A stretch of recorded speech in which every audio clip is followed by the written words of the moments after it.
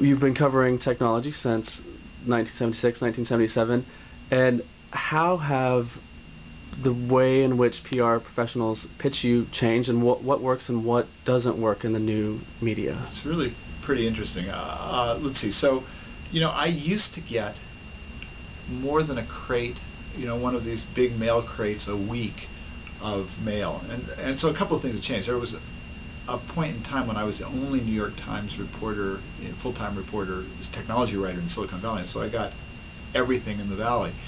And it was all paper mail, and there was a lot of uh, stuff that I threw out. And uh, I remember once Waggener Edstrom um, came to me and they said, you know, we want to train our folks. Will you give us a sample of your mail for a week? And um, so I gave them one of those tubs, and they took it away and they did whatever they did with it. And I think four years went by, or maybe it was three years, and then I got this really kind of freaked out and embarrassed phone call from Waggener Edstrom because they discovered my mail in a cabinet in their in their office, and they didn't know why it was there. But um, you know, it's really quite remarkable. Mail, paper mail from PR people have has entirely gone away. I mean, do I get one or two things a week, maybe three? It's actually kind of novel now. It's a, you know I enjoy getting paper mail, and it's such a rare, uh, rare experience. I even sometimes see blind pitches where people will handwrite them, which I think is really quaint and sweet. Um, mail, of course, as everybody's already noted, is broken, um, and so uh, it's it's relationships that make a difference. You know, uh, you know, you you'll build up a working relationship with a with a public relations person over time, and you learn to trust them, and you learn to trust their judgment about what you're interested in. And uh, I, I do see people who sort of try to break in with me new, who, who sort of give it a, a you know college try to sort of appear like they've looked at what I write about, and you know that that sort of um, out of left field stuff, it actually doesn't work very well either. Um, uh, people will call me sometimes and they'll say, um, what are you what are you writing about? And I, I find that to be kind of invasive, and so I'll politely say that you know that's not something I share as a rule. Um, I, and you know the the rise of social media is is is clearly a, a factor. I I think you know things are going to have to sort themselves out. It's not clear to me that.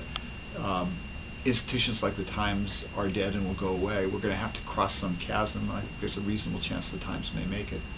Um, you know, there's a there's a value we play in the world, and that's as a filter for our readers. And uh, we were just talking about the fact that um, you know there are technologies like RSS feeds, and you know I see those as an analog for what used to be called the wires. Now the wires have been exposed to the general population.